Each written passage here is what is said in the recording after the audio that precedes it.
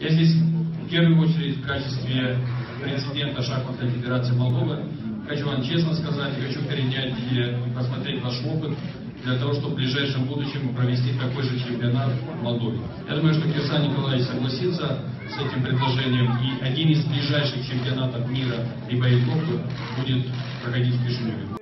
În timpul vizitei, Igor Dodon, însoțit de șeful Fidesz și ambasadorul rus în Iran, au vizitat locul unde s-a desfășurat cea de-a 43-a renumită conferință de la Teheran, care a reunit liderii celor trei puteri, Stalin, Roosevelt și Churchill.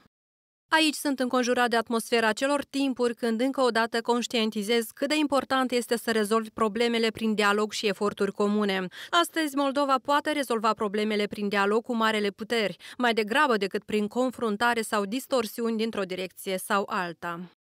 Igor Dodon l-a felicitat pe ambasadorul rus în Iran și pe colegii săi cu ziua lucrătorilor diplomatici. Președintele a declarat de asemenea că în timpul vizitei are programate o serie de întrevederi de rang înalt, inclusiv cu conducerea ministerelor și agențiilor relevante, precum și cu comunitatea de afaceri din Iran. Una dintre principalele teme discutate este atragerea investițiilor în Republica Moldova, subiect de care sunt interesate ambele părți, a menționat Igor Dodon.